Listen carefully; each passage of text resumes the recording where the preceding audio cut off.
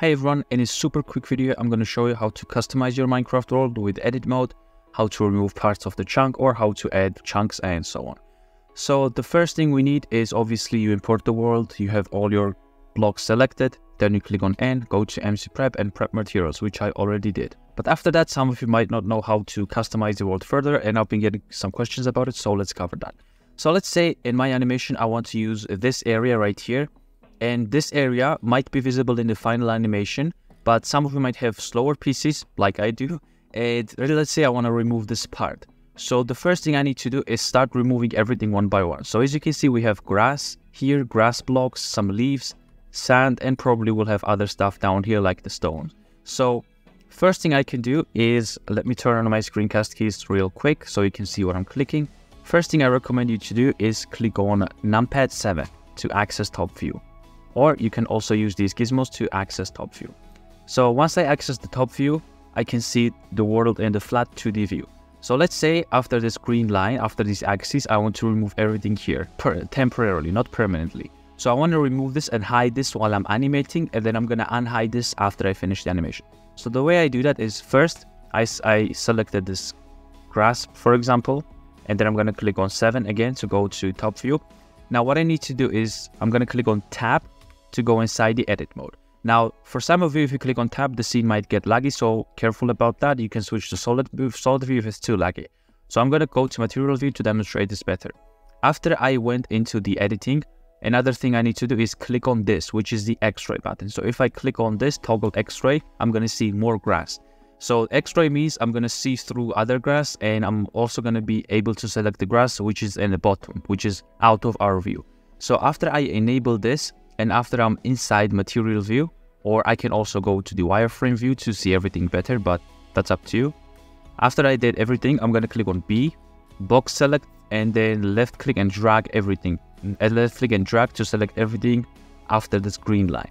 Now, after I selected everything, I can click on P and then click on selection.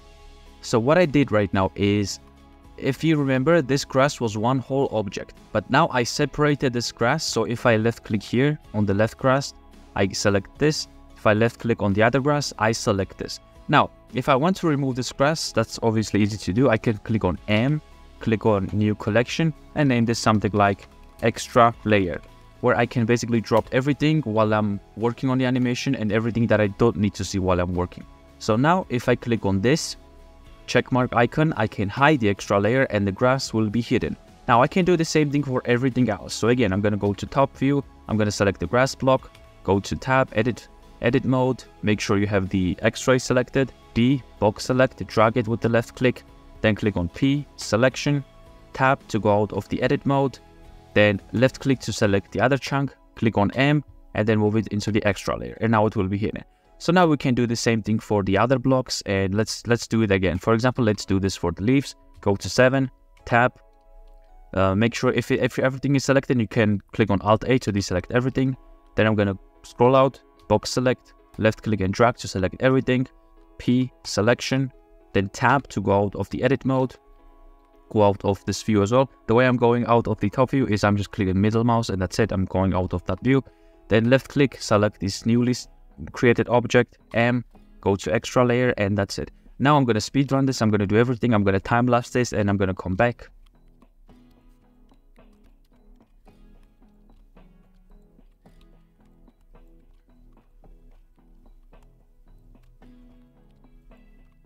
Now I'm quickly going to pause the speedrun time lapse and tell you that sometimes you don't need to separate the objects. For example, I selected this, which is not going to be visible in the entire animation and it's on the right side and it's on the left side of my world as well. So if I'm not seeing and if I'm not going to be using it in my animation, I can just click on M and move it straight into the extra layer without having to separate the object.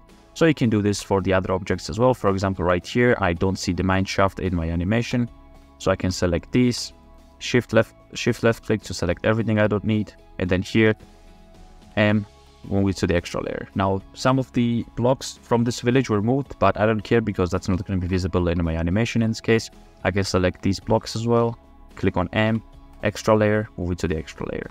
And yeah, just keep using the same principle. If you want to see some blocks here, make sure to separate them. If you don't care about the blocks and you don't see them during your animating process, then you can just click on M and then move it into the extra layer and then hide the extra layer. Now, also one thing, cool thing you can do is, for example, if I'm working here and uh, I'm using Shift F, by the way, or some of you might have Shift tilde enabled to fly. And then let's say I want to remove this grass block. Again, again, I can use the same principle. I can click on Tab, go inside the Edit view, click on 3 on my keyboard, or click here to switch to the face selection mode. I can left click, Shift left click, and select the faces of this grass. I can click on X and then delete faces. Now, as you can see, I have a gap here and I can easily fill that gap. I can again select this grass block and what I can do is first I'm going to enable the magnet tool. So enable the snapping tool, then click on Shift D, copy this and then move it over here. Now I can go back to my selection and left click this, select this face, Shift D, copy it and then replace it. Now if I want to fill this gap, I can select one of the faces which is pointing in this direction. In this case, this face is pointing in this direction, so I can click on Shift D, copy it and move it here.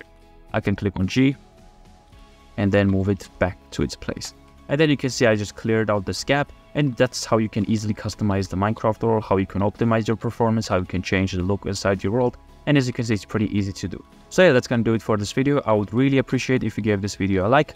And also be sure to subscribe if you want to see more Minecraft animation tutorials once or twice per week. And I also do some of my Minecraft animations, some challenges, and so on. Also, if you want to learn how to animate faster and how to speed up your workflow, then be sure to check out this video right here, and I will see you there. Thank you for watching.